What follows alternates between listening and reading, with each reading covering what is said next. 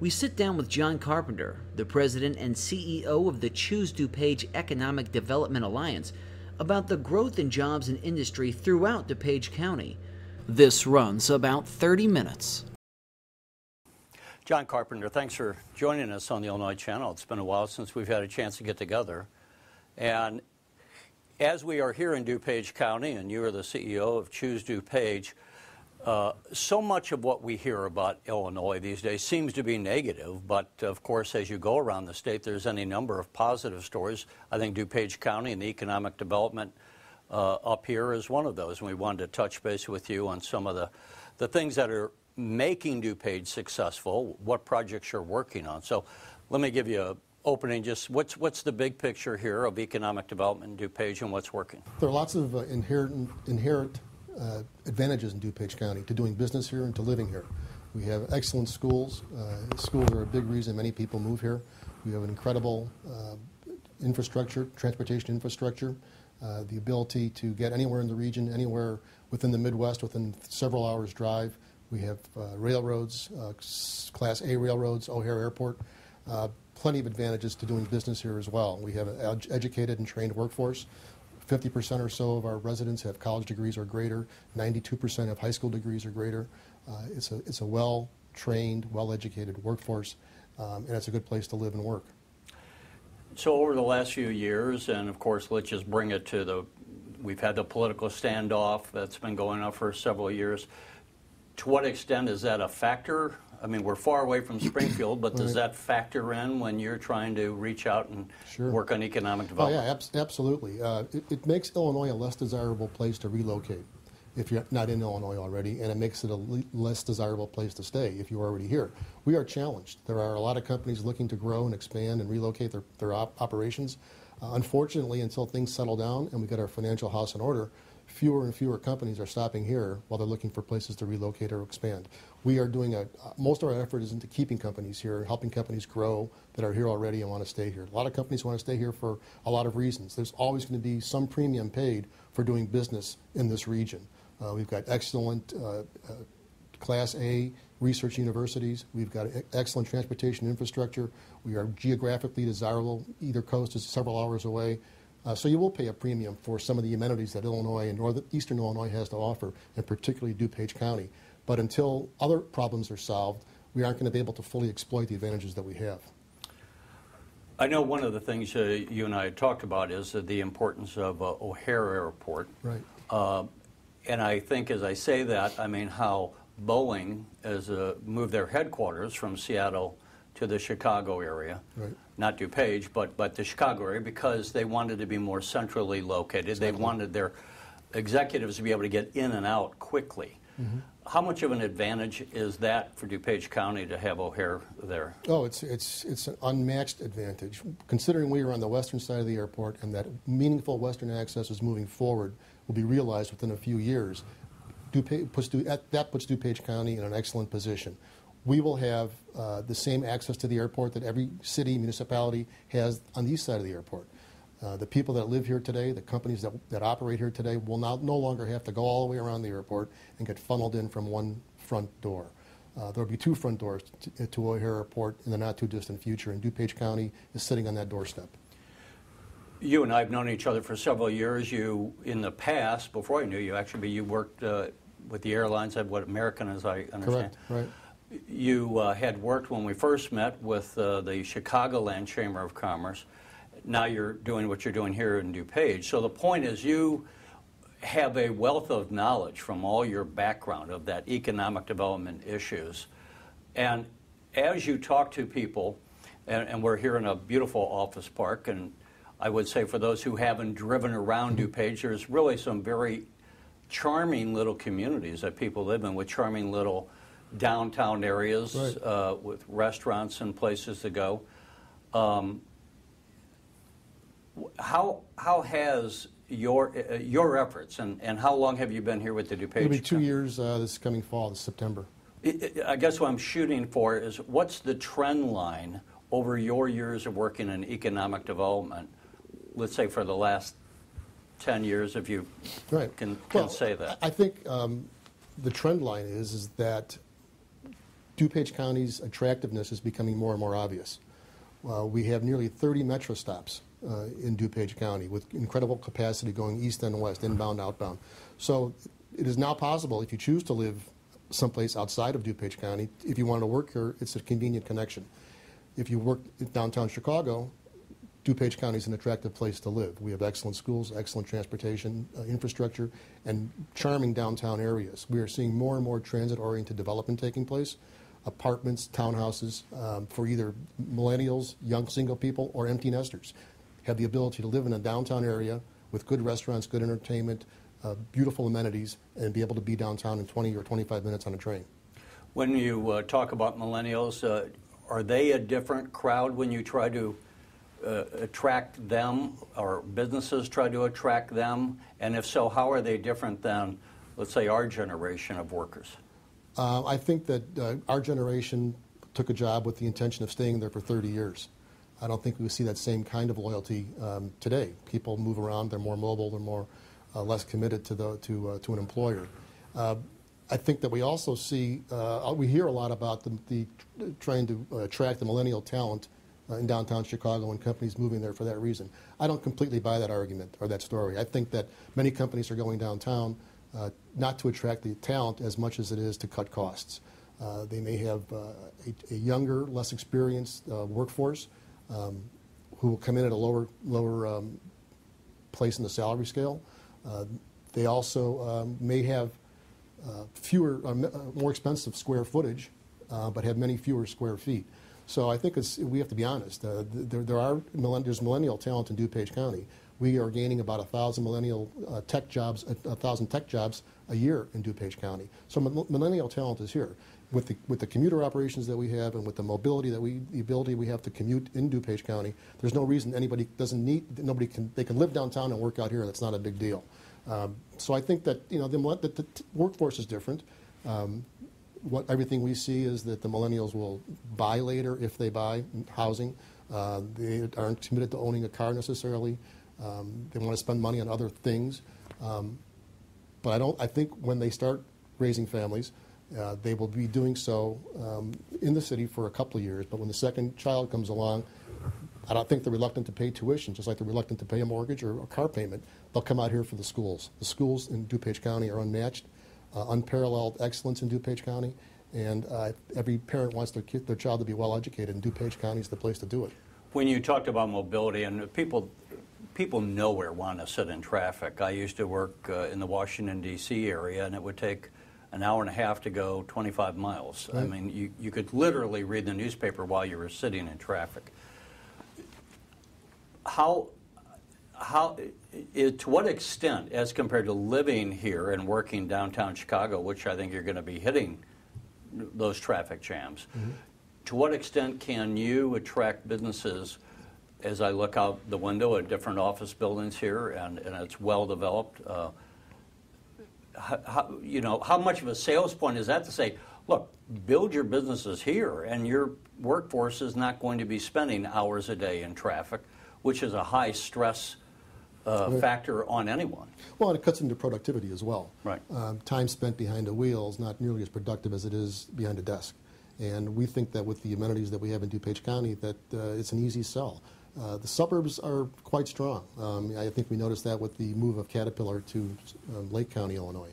Uh, DuPage County was being considered at the same time. There are advantages to being in, the, in DuPage County. We're close to O'Hare. Um, if you're in the transportation, logistics, or distribution business, our interstate highway network is unmatched. Uh, quality of life is high, and I think it's, it's a trend like anything else. It'll, it's a pendulum which swings back and forth. Um, we're every bit as confident as, we always were that DuPage County is a good place to do business, and we're seeing corporate relocations here as well. And you, you still are yes. Uh, seeing oh, that? Yeah, absolutely. I was going to say, when every everyone has challenges, what challenges are you facing and trying to address? Well, the challenge that we face is this uh, misconception uh, out there that you have to be downtown to attract the talent. That's not true. There are 19 colleges and universities with operations in DuPage County. We have a highly educated workforce. Uh, it's, you don't have to be downtown to attract that kind of talent. Their talent is out here. So it's a part of it's a perception problem, um, and we're trying to change that perception. And when we uh, taking it back to Springfield, I often tell people, where the Illinois Channel, of course, covers uh, a lot of state government, state government issues, but I often make the point that uh, public policy issues don't start and stop under the Capitol dome. They're out places like here, and they have to be addressed in Springfield. The governor has made a big point on property taxes. When you're working on your economic development issues, uh, how big of a factor is that? Well, it's always it's a cost of doing business, and it's something that employers and corporations and companies consider when making those decisions. We in DuPage County don't uh, don't raise taxes or impose taxes just to abate them. So we don't have a big financial incentive package. We think that our property, commercial property, industrial property tax rates are comparable or favorable compared to anybody in the state.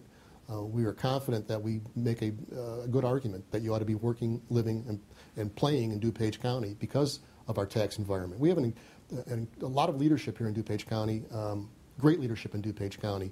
Business and government work together. Uh, under the leadership of Dan Cronin, our county board chairman, we have seen um, taxes actually reduced and eliminated. So uh, he is committed to his ACT proposal, which is accountability, um, consolidation, and, and, transparency. Says a lot about the administration here and a lot about the government here. Uh, businesses appreciate that. It's a strong contrast to many other places in the state. So because of that, and because of our, our conservative tax policies, companies prosper in DuPage County.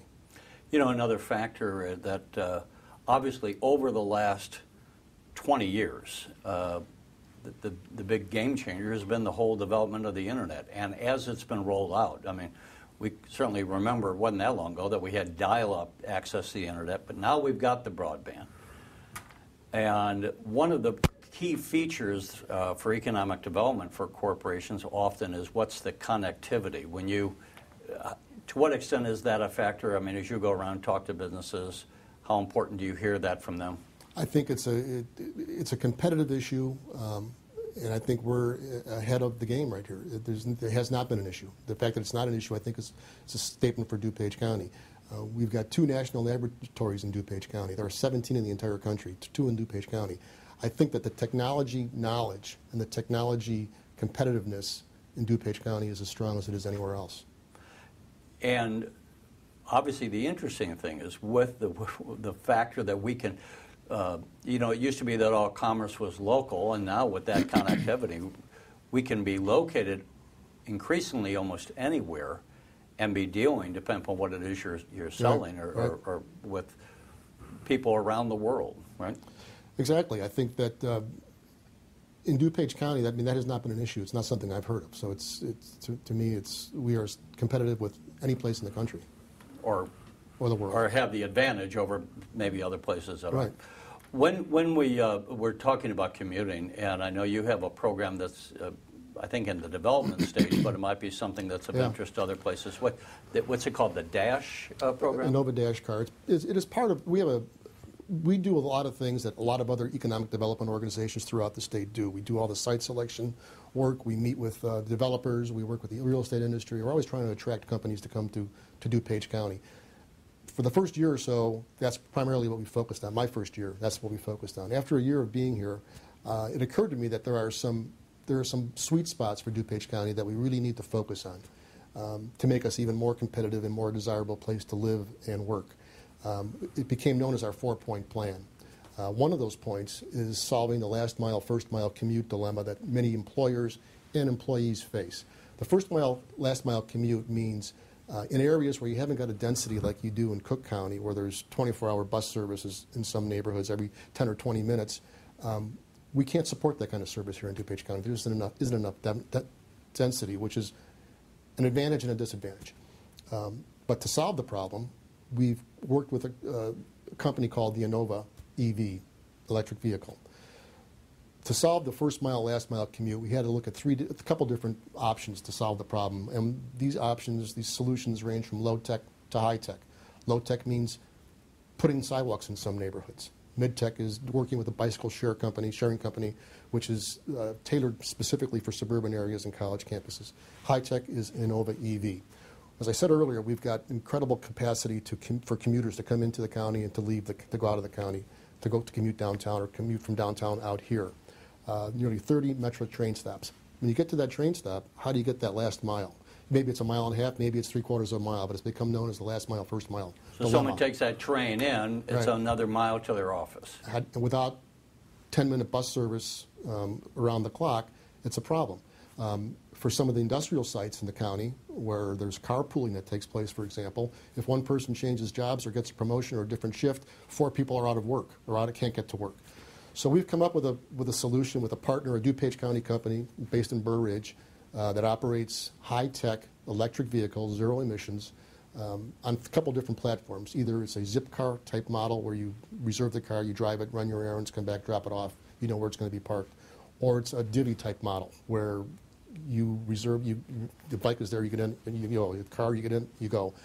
These are platforms for technology. So if a person's on a train coming from Ogilvie Center or from Union Station, they reserve their seat by the app on their phone, car's waiting there for them. Its optimum use is somewhere around two miles or so, um, and it's about 60% cheaper than Uber or Lyft. Uh, it's, it's phenomenal. It's getting a lot of attention. We are presenting at the Association for Commuter Transportation in New Orleans in August um, on the pilot project that we've got going here in DuPage County. We're doing a pilot project at the Itasca Metra Station, going between Itasca Metra Station and um, um, Hamilton Lakes Development, office development. It's about 100 users there already. It's been in operation for little, for less than a year. We see it growing, and with 30 stops in DuPage County, uh, there's a lot of upside potential for this, and people seem to love it.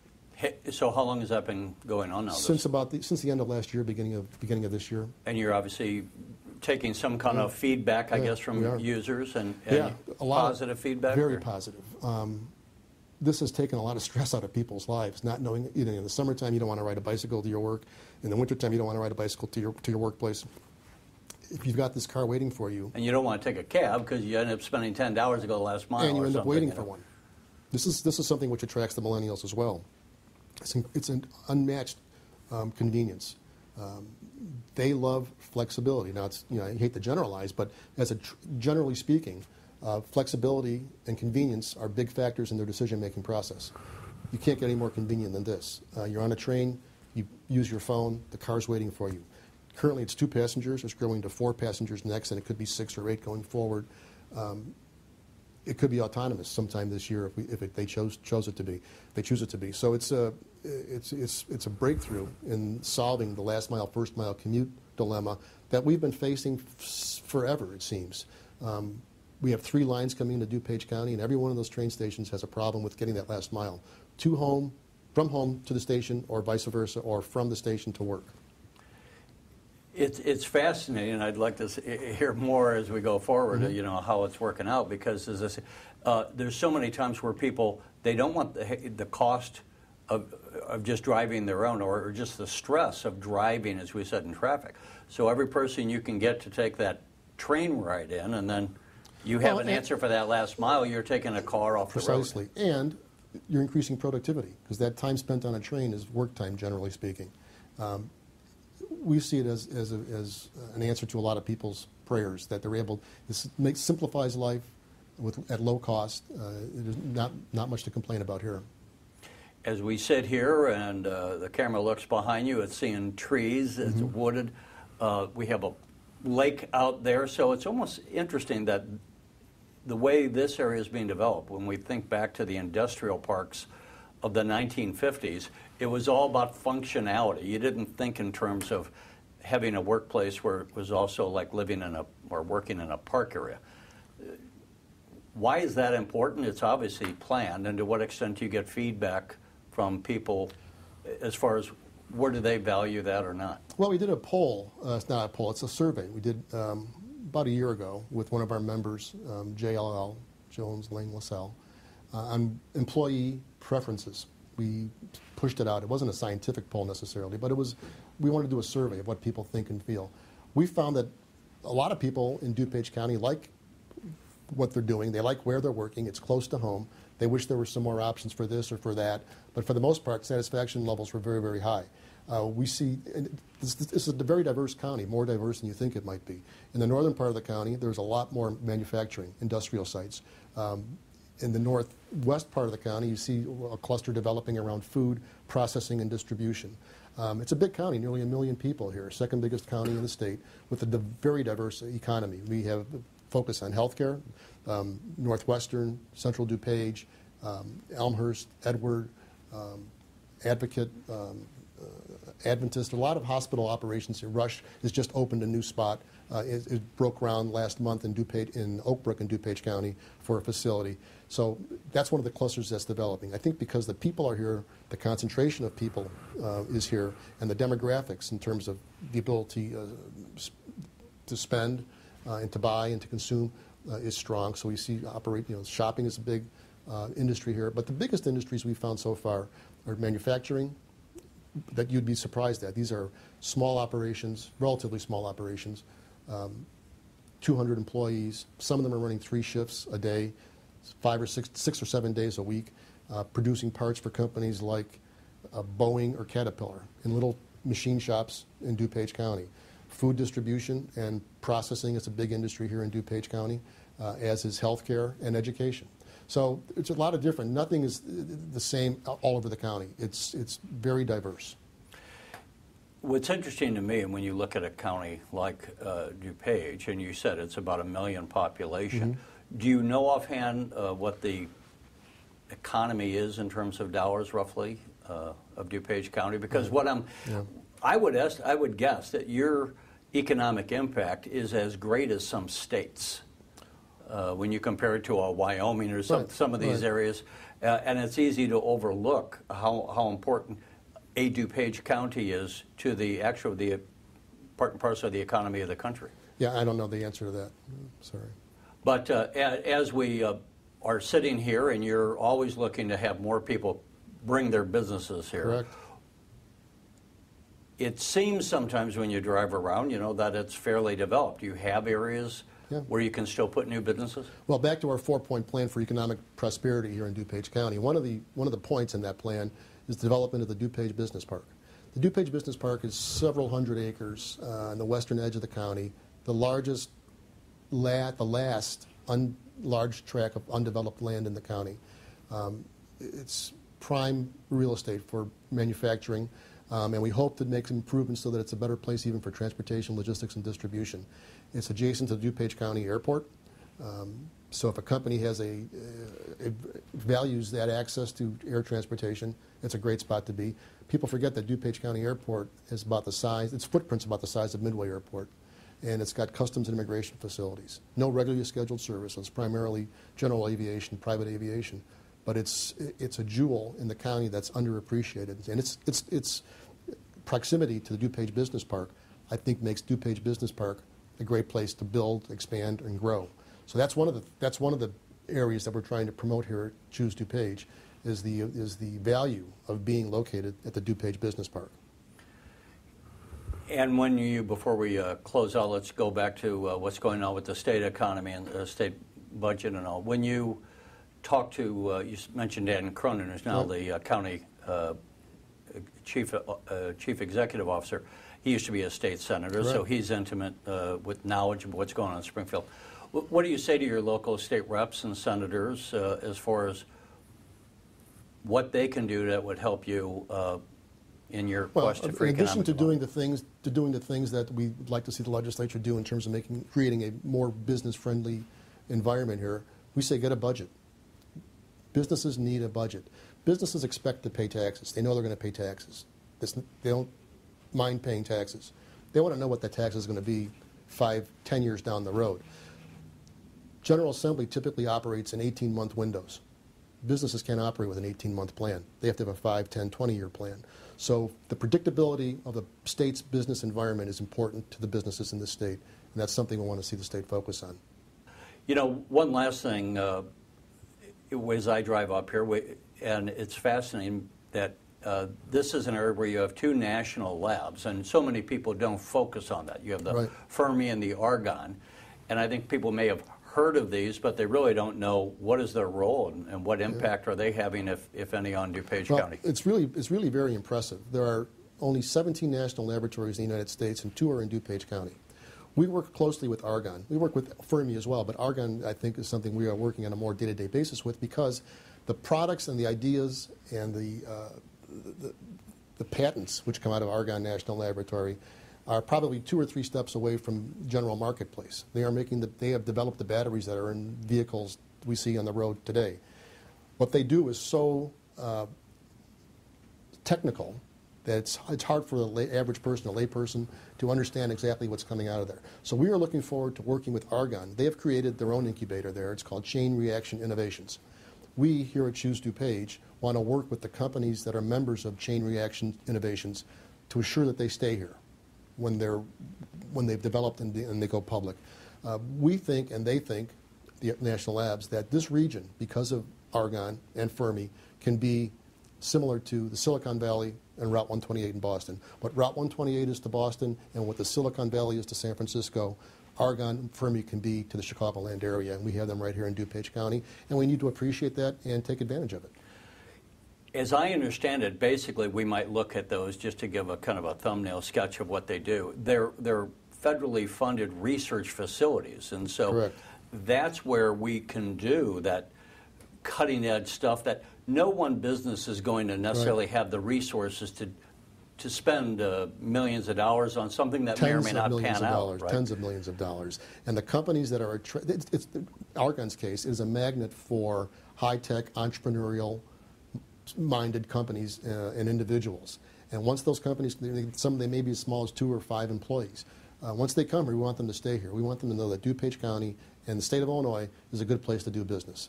And we hope that they get the same experience from DuPage County as we get from Argonne.